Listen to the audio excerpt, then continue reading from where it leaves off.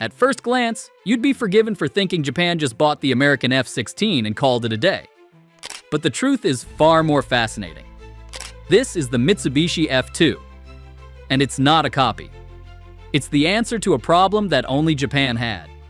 So why would a close ally of the United States spend billions of dollars and decades of effort to build its own version of one of America's most successful fighter jets instead of just buying more off the shelf? The answer is a story of national ambition, a unique and terrifying military threat, and a technological breakthrough that, in one crucial way, briefly made Japan the world leader. This is why Japan built its own F-16. Our story begins in the 1980s. The Cold War was raging, and Japan was firmly in the Western camp. Its main fighter jet was the formidable F-15J, a license-built version of the American F-15 Eagle.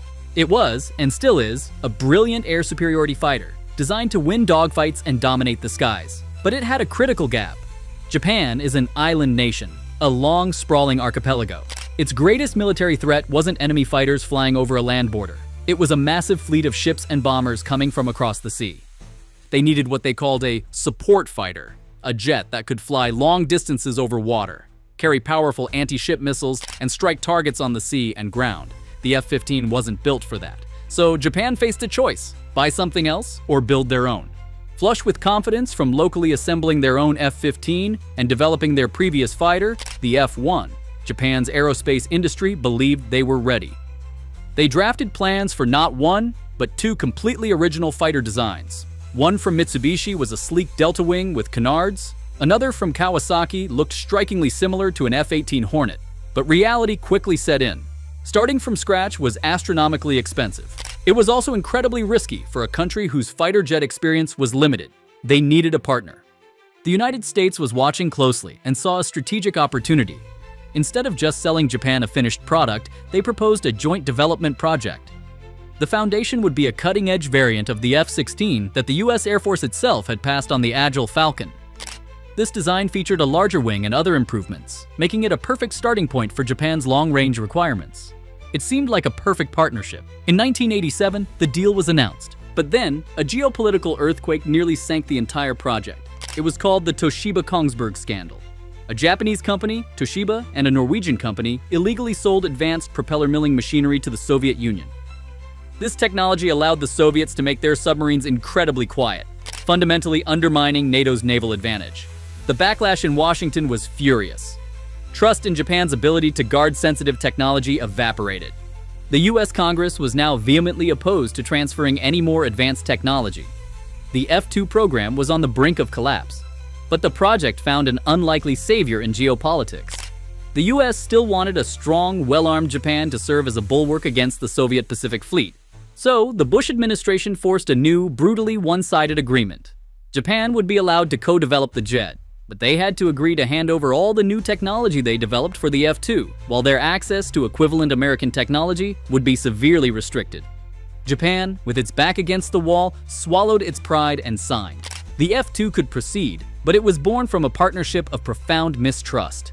This context is crucial to understanding the jet that would eventually emerge. So, with the groundwork laid, what did Japan actually change? If you put an F-16 and an F-2 side by side, the differences seem subtle, but they are profound.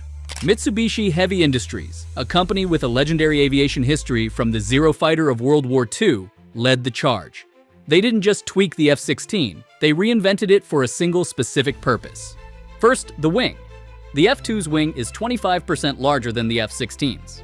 This wasn't just for show. A bigger wing means more lift, more fuel capacity, and most importantly, more hardpoints to carry weapons. The F-2 gained two additional hardpoints, allowing it to carry four massive domestically built ASM anti-ship missiles. This larger wing also increased its combat range by roughly 25%, a non-negotiable requirement for patrolling Japan's vast exclusive economic zone. To handle the stresses of this larger airframe, especially during low-level flight over rough seas, the fuselage was strengthened, the tail fins were made larger for better stability. The canopy was changed from a two-piece to a three-piece design for better bird strike resistance. And to save weight and reduce its radar signature, Japan made extensive use of advanced composite materials, even developing their own secret radar-absorbent material for the nose and wing edges. Under the hood, the cockpit was a generational leap. They replaced the F-16's classic dials and gauges with large color LCD screens, a modern glass cockpit that gave the pilot far superior situational awareness. All of these changes were significant, but they pale in comparison to the F-2's crown jewel. The nose of the F-2 is slightly longer and wider than the F-16's for one reason, to house the J-APG-1 radar. And this piece of technology is why the F-2 is a legend in aviation circles. The J-APG-1 was the world's first active electronically scanned array, or AESA, radar to enter production on a fighter jet. Let's break down why that's a big deal.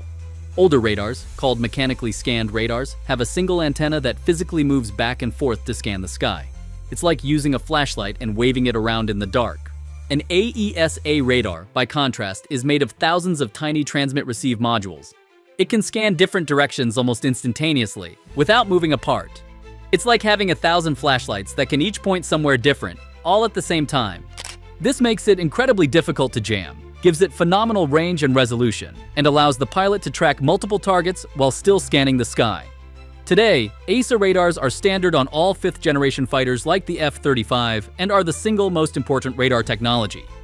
And the Japanese F-2 had it first, even before the American F-22 Raptor. In total, a staggering 95% of the F-16's design drawings were changed for the F-2. This was not a copy. It was a new aircraft, a specialist born for a specific demanding role. So, was it a success? The answer is complicated.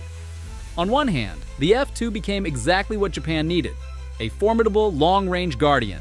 It has routinely been scrambled to intercept Russian bombers and reconnaissance aircraft that probe Japanese airspace. Its powerful AESA radar and advanced Japanese AAM missiles make it a deadly opponent, even for more modern fighters. However, its specialized nature is also its biggest limitation. It was optimized for anti-ship and air defense roles around Japan.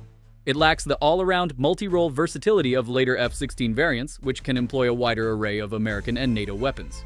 Furthermore, the program was haunted by its rocky start and soaring costs. Plans to build over 140 aircraft were slashed, only 94 were ever built. Then, in 2011, disaster struck. The Great Tohoku earthquake and tsunami devastated a Japanese airbase, damaging or destroying 18 F-2s, a massive blow to the small fleet. So why did Japan build its own F-16?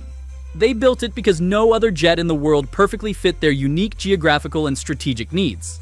They built it to foster and prove their own aerospace industry. And they built it because, in a moment of technological genius, they saw an opportunity to leapfrog everyone else with their AESA radar. The Mitsubishi F2 is more than just a jet. It's a statement. A statement that Japan could take the world's best foundation and refine it into something uniquely its own. It is the story of a samurai, forging a sharper, longer sword to protect his island home. If you enjoyed this deep dive into aviation history and want to join us for more, then make sure to subscribe to the channel we explore the fascinating stories behind the world's most incredible machines. Liking the video and leaving a comment with your thoughts on the F2 or which aircraft we should cover next really helps our channel grow and lets us know what you want to see. Thanks for watching, and we'll see you in the next one.